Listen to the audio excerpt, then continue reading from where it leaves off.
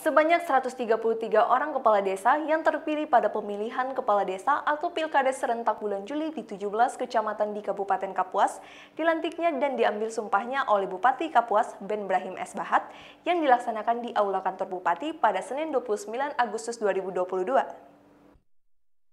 Dalam sambutannya, Bupati Kapuas Ben Brahim mengucapkan selamat atas dilantiknya kepala desa yang baru ini serta memberikan penghargaan yang tinggi kepada panitia pemilihan kepala desa, para kandidat kepala desa, dan seluruh masyarakat pemilih yang telah melaksanakan proses pemilihan kepala desa secara baik, aman, dan lancar.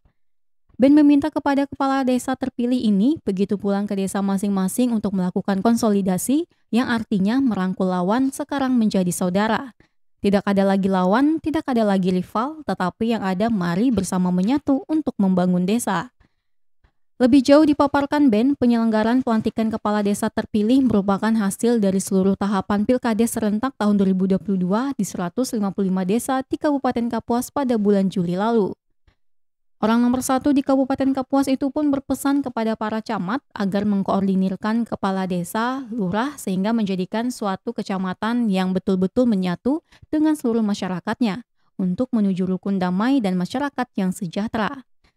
Berkaitan dengan dana desa, Ben Brahim meminta agar pemanfaatannya harus dipergunakan sebesar-besarnya untuk kepentingan masyarakat dengan melibatkan seluruh stakeholder yang ada di desa dalam penyusunan APBD desa. Kita bersyukur sudah melakukan pelantikan kades sebanyak 133 orang dan kita lihat sendiri rata-rata anak-anak muda dan uh, banyak yang S1 jadi sudah tentu membawa harapan kita ke depan agar pelaksanaan Didi Didi semakin baik dan bermanfaat untuk masyarakat kita. Ini yang kita harapkan ke depan.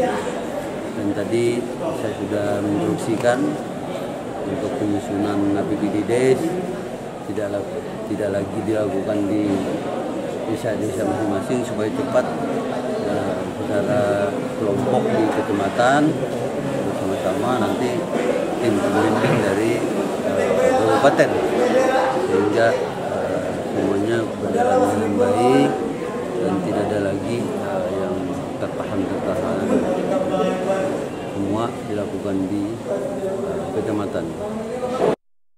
Ben Brahim pun berpesan kepada 22 orang kepala desa yang belum dilantik agar mengikuti proses yang sedang berjalan. Mana yang lolos sesuai ketentuan maka akan segera dilantik. Dalam pelantikan dan pengambilan sumpah ini, Bupati Kapuas Ben Brahim S. Bahat didampingi oleh Ketua TP PKK Kapuas yang juga anggota DPR RI Dapil Kalteng, Ari Egahni yang juga selaku Bunda Paut Kapuas. Turut hadir juga Wakil Bupati Kapuas HM Nafiyah Ibnor, Sekda Kapuas Septedi, Ketua DPRD Kapuas Ardiansyah, Ketua GOW Kapuas Hajah Asmah Nafiyah, Ketua DWP Kapuas Apolonia, jajaran Forkopimda, sejumlah kepala organisasi perangkat daerah atau OPD rohaniawan, para kepala desa yang dilantik, Bunda Paut Kecamatan, Kelurahan, dan Desa, serta tamu undangan. Dari Kabupaten Kapuas, Kalimantan Tengah, Ali Surahman, iNews melaporkan.